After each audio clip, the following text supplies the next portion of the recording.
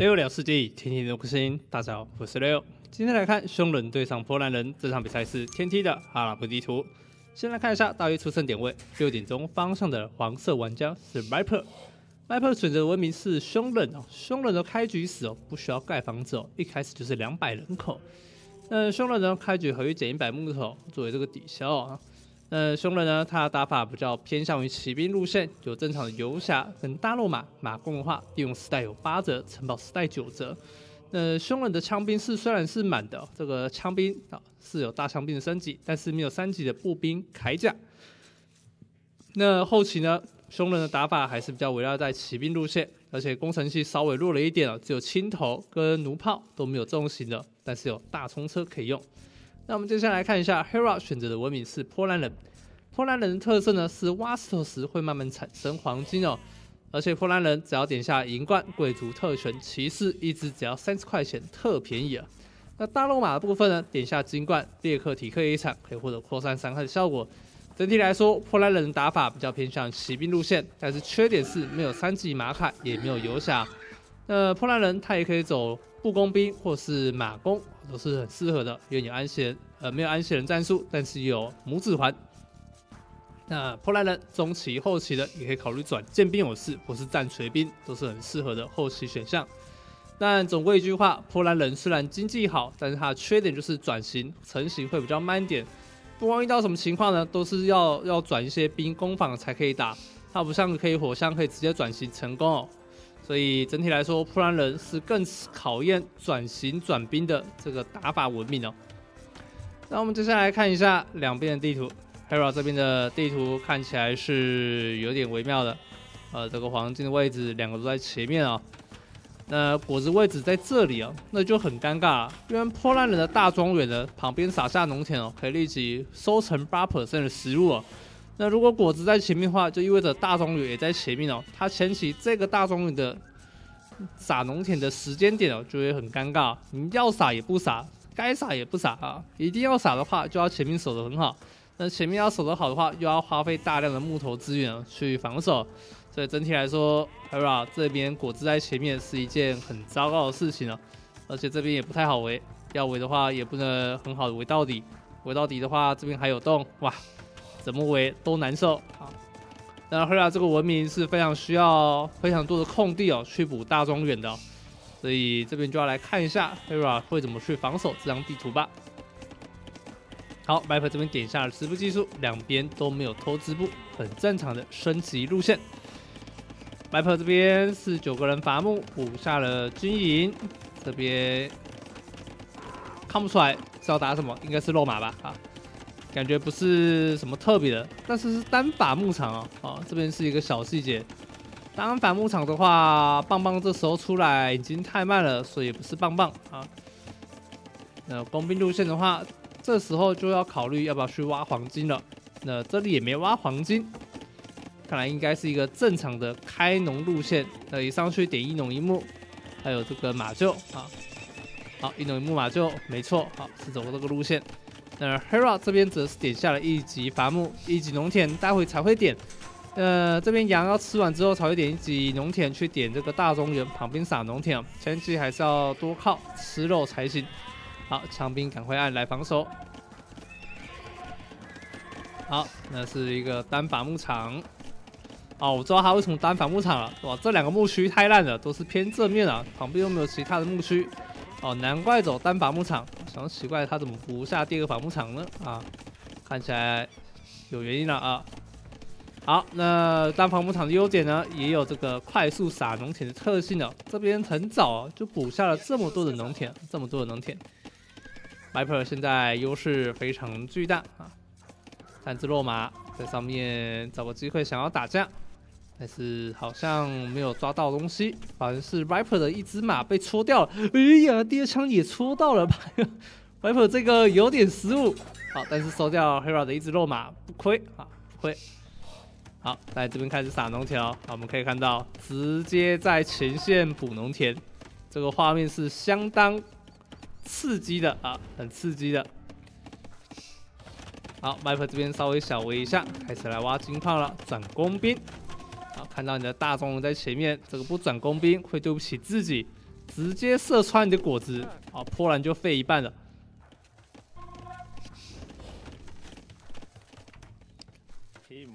好，这里有机会哦，看一下。好，长兵来，没机会，就继续被逼走。Viper 已经开始安工兵了，这个罗马会溜进去吗？没有。好，又回去了。后边的落马还在追。五只落马，很多了呢。Viper 这边工兵出来，有机会射穿吗？好，补射箭场，看到射箭场补一下。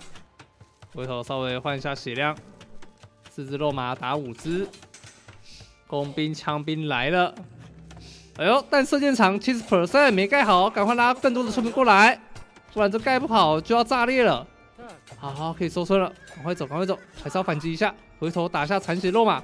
OK，拉两只村民过来打，工兵过来射倒，两匹马倒下，工兵直接射穿了枪兵，枪兵又拉了一只过来，现在。四只残血肉马又射倒了一只枪兵，漂亮，直接射穿这个大中原，吐了。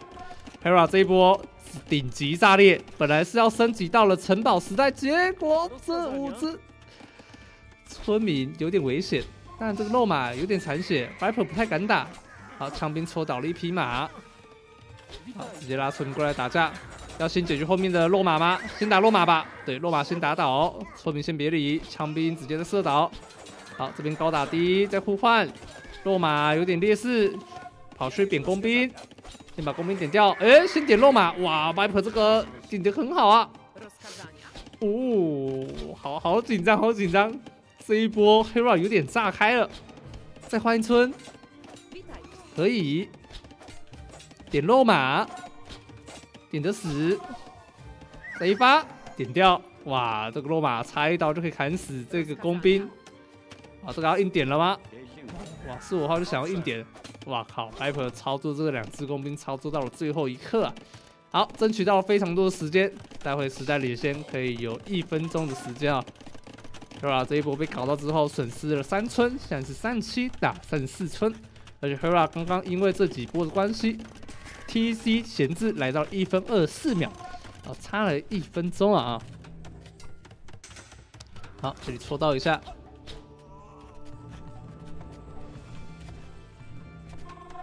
好，两只工兵往前按，熊人这里城堡时代还有五秒钟的时间。好，二级射，二级伐木，四只四个射箭场啊，四个射箭场。好，顶下了。现在马弓出来，二级伐木来了。好，城堡时代。Viper 点下了耕种技术，好走奴兵路线，凶人走马弓，破烂就走战矛或者是奴兵，都是相当适合。后面补了一个弹道学，大学补了。Viper 这里的四个射箭场是有点过分了，看这个四个射箭场真的有必要吗？到了这个时间点，嗯，十二只马弓来到了极限了。好，但十二只马弓在二十二分钟这个时间点压制力是非常强大的，很难挡啊。好，Hero 这边三个射箭场不断，才勉强憋出了十四只的工兵。好，这里马弓抓到，工兵直接贴脸射击，没有单刀血，贴紧点射比较容易射中。好，Hera 现在前后都烧到沙了，这个果子终究是吃不完。然后六五片田暂时没有办法采，现在是雪上加霜，被迫在 TC 旁边直接撒农田了，抛弃大庄园的灵魂了。好，这里要被射进去了，糟糕，弹道血还没有好，马弓直接冲进来，弹道血还有二十秒。Viper 可以抖动，换了一只弩兵，决定要来点村民。好，就点了一只，第二只拿下，第三只，第四只。好，上来直接点，先把村民点掉之后，近距离对点，但是 Viper 应该是打不赢，弩兵的造价数量比较，呃，数量比较多，哦，点光，OK，这就是步工兵打马弓的优势，很容易射得赢，虽然体质上是输的，但是它的攻击速度没有这个拉弓动画啊，弓兵的子弹是直接射出的。这算是世纪帝国的一个小小细节啊，马弓的拉弓动画是比较长一点的啊，所以在甩弓情况下，马弓很容易甩出步弓兵啊的一个特点啊。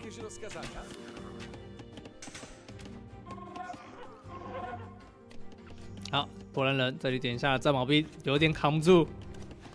有点难打，这里要补 TC 才对啊，但是现在 TC 要补哪里是个问题，要补的话也只能补主金啊，或者是牧区的位置啊。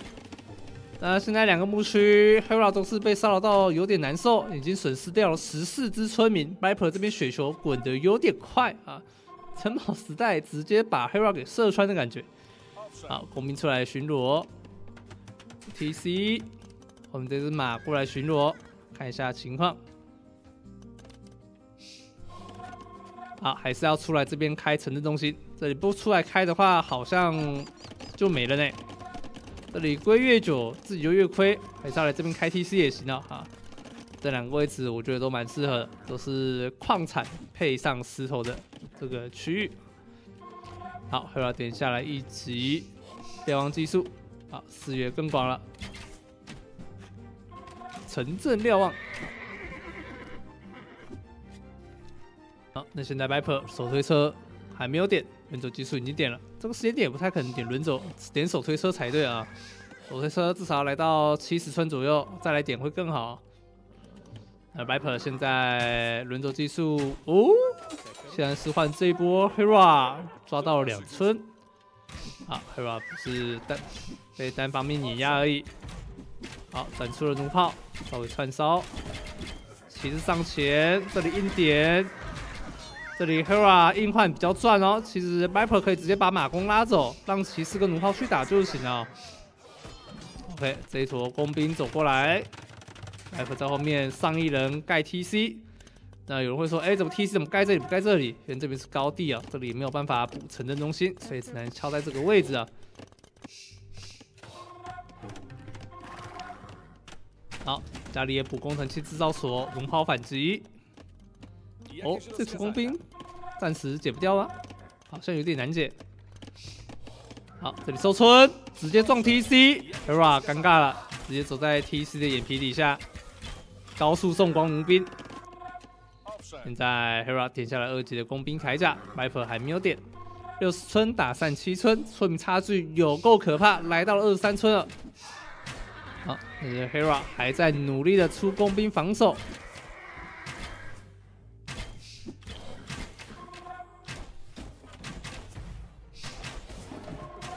好，感觉 Viper 那一波马弓走进来抓掉这些村民的时候，就已经游戏结束的感觉了。现在 Hera 要打赢，我想不到剧本，这个剧本有点难写，可能连日本轻小说都不敢这么写。那就是 Hera 这边用弩兵直接射穿 m a p e r 的经济，然后转出贵族特权，然后挖出城堡，然后经济突然转型成功，哦，五 TC 开农。啊，五 T C 还不会被 m a p e r 给射爆啊？这个不太可能啊，怎么想都不可能啊！这个这个有点太奇幻了啊，这个算是奇幻的范畴了啊。刚刚这个五 T C 开龙这个话题，还要转出转出贵族特权，二级马凯二攻，还要品种点完，还有跟踪技术要点，嗯，这个我觉得还蛮奇幻的啊。能转得出来，真的是太悬了。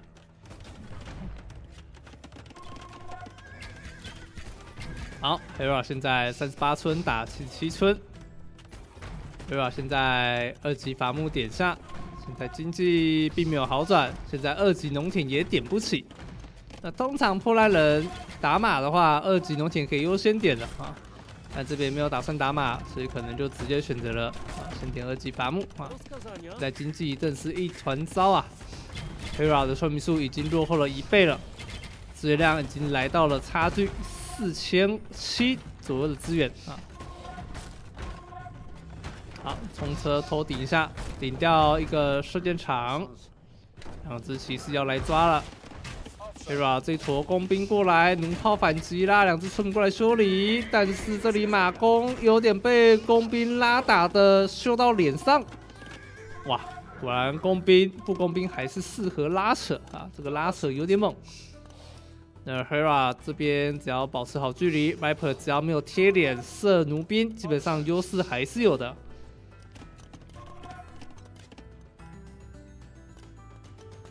好，Viper 这边二十只的马弓往前走，但是直接被点掉了一只马。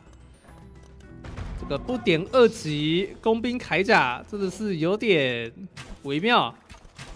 有点的话，会不会射那么痛吗？应该不至于吧啊！但是为了不断村，所以没有打算要投资这个二级的工兵铠甲了。好，Hero 这边 TC 赶快开，难道真的是五 TC 要开农了吗？无情开农，九十一对五十村，哦，这个弩炮在后面直接来一个串烧，串烂了这边弩兵，直接被包抄搞定。哇，这个弩炮刚刚也打了成吨伤害啊！好，Viper 过来，看到战矛兵往后拉，抓掉了一村，这里马弓又抓了一村。哇，九十七对五二，好，战矛兵终于稍微守住了。这里待会石头先开挖，然后守住正面的附近。待会城堡可以考虑直接补这个位置哈，或者是补这个位置都可以考虑。总而言之，就是要守住自己的矿点啊。好，Hero 这边慢慢守住了吗？Map 在一百村的时候点下了手推车，准备要来升帝王时代了。我怎么觉得这边可能会是一个帝王劝退的画面呢？看到帝王直接投了吧？哇，头车砸到了，这个马蜂血量掉的有点残。